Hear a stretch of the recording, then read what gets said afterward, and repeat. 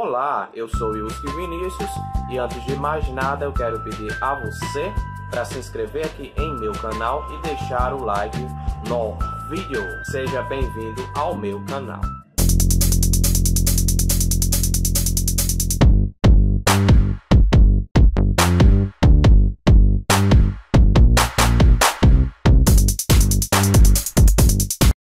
Opa pessoal, e aí meus queridos, tudo legal com vocês? Pois bem, hoje eu venho dar uma super dica para melhorar o sinal do Wi-Fi, tanto no notebook de vocês como também naqueles adaptadores que nós colocamos em nossos PCs. Então esse método aí tanto vai ser eficaz para você que está aí no sistema operacional Windows 7, como Windows 8, como Windows 10, né, etc e tal. Então vocês vão gostar muito dessa dica, dessas instruções, porque realmente vocês vão ter aí uma melhoria tanto na qualidade do sinal, o sinal vai ficar bem mais forte, como também na qualidade da própria conexão, porque vocês vão acabar recebendo mais velocidade, né? Tanto faz também se você está aí usando o Wi-Fi mais velho, né, que é aquele mais comum, 2.4 GHz, ou se você também estiver aí usando o novo Wi-Fi, não é que é os 5 GHz o famosinho aí, né? Bom, então vamos lá. O processo é bem simples e vocês vão gostar muito de fazer. O primeiro passo, né, é ir aí no ícone da bateria. Se vocês não estiverem no notebook, não tiver aí o ícone da bateria, vocês vão buscar aqui, ó, por opções de energia. Opa, escrevi errado.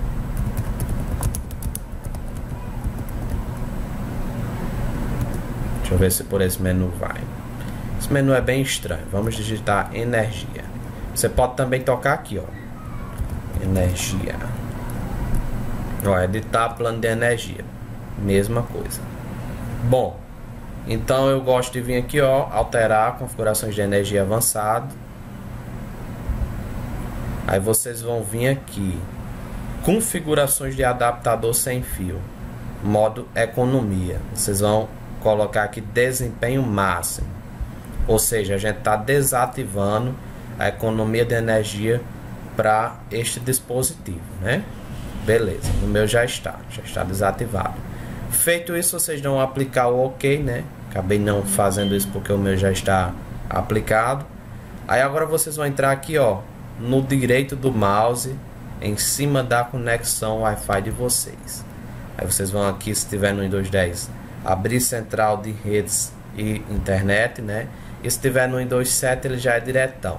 Ele já vem para isso aqui, ó, central de redes e compartilhamento, que é o que vocês vão abrir, né, nesse novo menu que surge se vocês estiverem no Windows 10. Pronto. Aí aqui, ó, se você tiver conectado a uma rede Wi-Fi, vai ter o um nome aqui Wi-Fi. Vocês vão tocar nele. Agora vocês vão tocar aqui em preferências.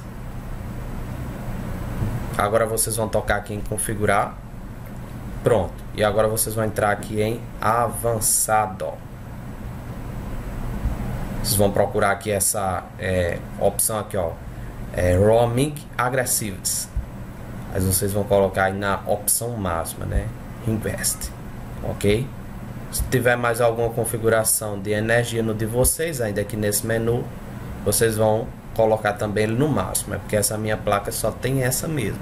Mas tem placas que tem aí bem três opções é, de energia, tá bom? É, alguma coisa, não sei o que, verde, etc e tal, vocês desativam tudo. Economia de energia, desativa tudo também, beleza? E se tiver mais alguma coisa aí, potência de sinal, sempre sim. É porque essa minha placa, ela já é, né, vamos dizer assim, bem estreita, já quer trabalhar mesmo com o máximo, tá bom? Pronto, agora vocês vão aqui em gerenciamento de energia. Aí eu gosto muitas vezes de desligar aqui essa opção. O computador pode desligar o dispositivo para economizar energia. Pronto, eu desligo isso e dou OK. Por que eu desligo isso? Porque volta e meu computador quer desligar a placa de Wi-Fi né, para economizar energia e minha máquina está ali, vamos dizer, fazendo algum tipo de download. Aí se ele desliga é, o Wi-Fi, pronto, deixa de fazer o download, né? Pronto é, derruba o download. Vamos abrir agora aqui o Firefox e ver qual a velocidade da internet que está chegando aqui no computador nesse momento. Deixa eu colocar aqui speedtest.net. Era para ter feito um antes e um depois, mas tudo bem, né?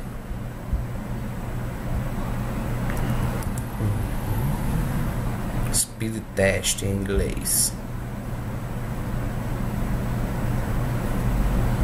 Vocês vão perceber que vocês vão ter um ganho de mais ou menos, sem brincadeira nenhuma, 100%.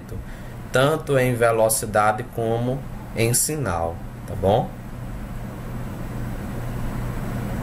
O notebook ele vai conseguir buscar mais longe. Em muitos casos a gente consegue até diminuir o ping, ok? Pronto, tá dando a velocidade da minha conexão. Aí. É, tá perfeito, viu?